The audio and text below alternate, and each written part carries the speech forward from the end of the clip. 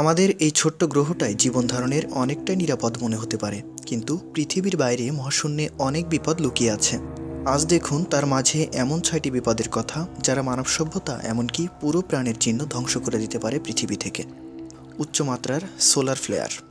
আমাদের সূর্য তার গ্রহ উপগ্রহ নিয়ে শান্তিতে আছে, এমনটা মনে করার কোনো কারণ নেই। সূর্যে শক্তিশালী চুম্বক ক্ষেত্র ও সান স্পট তৈরি হয়, যেগুলো অনেক সময় পৃথিবীর চাইতেও বড় হয়ে যায়। সূর্য থেকে আসে একগুচ্ছ রেডিয়েশন ও বস্তুকণার প্রবাহ সৌরঝড়। পৃথিবীর চৌম্বক ক্ষেত্রে বাধা পেয়ে মেরুর কাছাকাছি দারুণ সুন্দর মেরু প্রভা তৈরি করে এরা। কিন্তু এর শক্তি বেশি হয়ে গেলে তা রেডিও যোগাযোগ বাধা, এমনকি পাওয়ার আউটেজ তৈরি করতে সক্ষম। সর্বকালের সবচাইতে শক্তিশালী চৌম্বকীয় সৌরঝড় পৃথিবীতে আঘাত করেছিল আঠারোশো উনষাট সালে। এই ঘটনাকে বলা হয় ক্যারিংটন ইভেন্ট। ইলেকট্রনিক যন্ত্রপাতি কাজে তা প্রচুর ব্যাঘাত ঘটায়। বর্তমান সময়ে আমরা ইলেকট্রনিক্সের উপর এতই নির্ভরশীল হয়ে পড়েছি যে এমন একটি ঘটনা এখন ঘটলে সমূহ বিপদ হতে পারে আমাদের। সব electricity, heating, air conditioner, GPS, internet এসব নষ্ট হয়ে গেলে খাদ্য ও পানীয় নষ্ট হয়ে যাবে। জীবনধারণে যে কী পরিমাণ কষ্ট হবে তা আর বলে দিতে হয় না। গ্রহাণুর আঘাত। গ্রহাণুর আঘাতে মারা পড়েছিল ডাইনোসারেরা। এই তত্ত্ব আমাদের সবারই জানা। মহাশূন্যে এমন অনেক গ্রহাণু আছে যারা পৃথিবীর বড় ধরনের ক্ষতি করতে সক্ষম। পৃথিবীতে ছোটোখাটো গ্রহাণুর আঘাত থেকে বাঁচার উপায় নিয়ে গবেষণা করা হচ্ছে। কিন্তু বড় ধরনের গ্রহাণুর বিপক্ষে আমরা একেবারে নিরুপায়। এগুলো পৃথিবীকে একেবারে চুরমার করে দেবে না হয়তো। কিন্তু বিশাল সুনামি, দাবানল এবং অন্যান্য দুর্যোগ ঘটিয়ে মানব সভ্যতা নিশ্চিহ্ন করে দিতে পারে। সূর্যের প্রসারণ। সোলার ফ্লোয়ার বা গ্রহাণুর আঘাত অনেকটাই ভাগ্যের উপর নির্ভর করে। কিন্তু সূর্যের প্রসারণ একেবারেই অনিবার্য। সাত দশমিক সাত দুই বিলিয়ন বছর পর মারা যাবে সূর্য। সে নিজেকে ফাঁপিয়ে একটি প্ল্যানেটারি নেবুলা তৈরি করবে। সবশেষে তৈরি করবে একটি হোয়াইট ডর্ফ তারকা। এক পর্যায়ে সে বুধ ও শুক্রকে গ্রাস করে ফেলবে। এই সময় সৃষ্ট সৌরঝড়ে ধীর হয়ে যাবে পৃথিবীর গতি।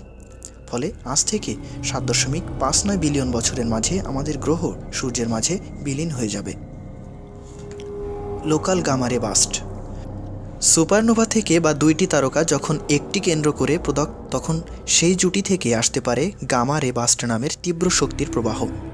এখানে অনেকটা শক্তি একটি চিকন রশ্মির মধ্য দিয়ে যায়, এই কারণে তা বেশ বিধ্বংসী হতে পারে। বিশেষ করে ওজন স্তরের জন্য তা হতে পারে হুমকিস্বরূপ আমাদের থেকে পাঁচ হাজার দুইশো থেকে সাত হাজার পাঁচশো আলোকবর্ষ দূরে রয়েছে এমন এক তারকা জুটি W R one zero four.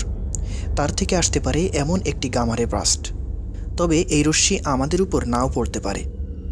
নিকটবর্তী সুপারনোভা। তারকাদের জীবনের শেষে ঘটে একটি সুপারনোভা বিস্ফোরণ। আমাদের মিল্কিওয়েতে প্রতি একশো বছরে তা ঘটে একবার বা দুবার। আমাদের থেকে চারশো ষাট থেকে ছয়শো পঞ্চাশ আলোকবর্ষ দূরে রয়েছে কালপুরুষ নক্ষত্রমণ্ডলীর বিটল জুস এখন থেকে আগামী এক মিলিয়ন বছরের মধ্যে সে সুপারনোভা হয়ে যেতে পারে। তবে আমাদের পঞ্চাশ আলোকবর্ষের মাঝে না থাকলে তার রেডিয়েশন আমাদের ওজন স্তর নষ্ট করবে না। সুতরাং এখনই চিন্তিত হবার দরকার নেই। অগ্রসরমান তারকা।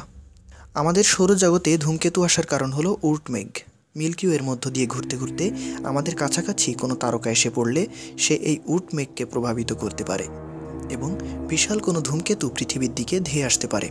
এখন আমরা মিল্কিওয়ের একটি তুলনামূলক নিরাপদ জায়গা দিয়ে যাচ্ছি। কিন্তু আগামী বিশ হাজার থেকে পঞ্চাশ হাজার বছরের মাঝে সেটাই পরিবর্তন আসতে পারে এবং বেশ বড় ধরনের ক্লাইমেট চেঞ্জের বিপত্তি আমাদের সইতে হতে পারে।